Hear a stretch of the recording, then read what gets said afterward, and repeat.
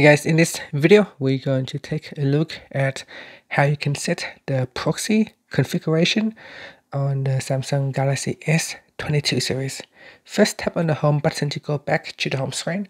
And on the home screen, swipe down at the top and tap on the settings icon. Next, tap on connections and then tap on Wi-Fi.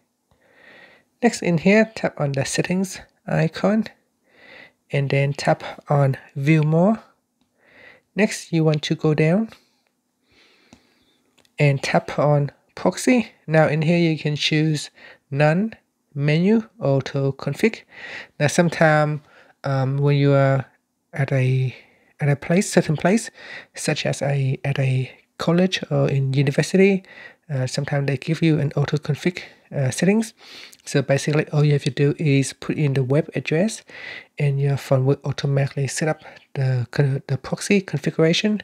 Uh, at other times, you might need to manually put in the proxy uh, configuration, such as the proxy hostname. So, uh, for example, web.itjungles.com. And then you go down and put in the proxy uh, port 8080. Uh, most of them are 8080 and you can also set the bypass proxy for as well and then tap on the save button. So that is how you can manually set the proxy server. Otherwise you can use the auto config uh, option. And that's it. So that is how you can set the proxy configuration on your Samsung Galaxy S22 series.